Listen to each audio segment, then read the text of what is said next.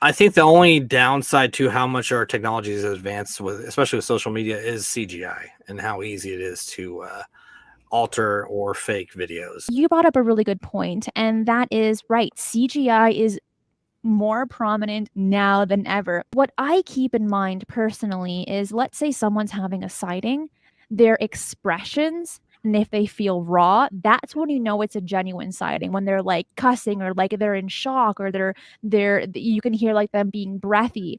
But I have seen UFO sighting videos and there's air quotes there and no one cares. No one's paying attention, but you're seeing a craft in the background. That's when you know it's fake because people would not react in that way.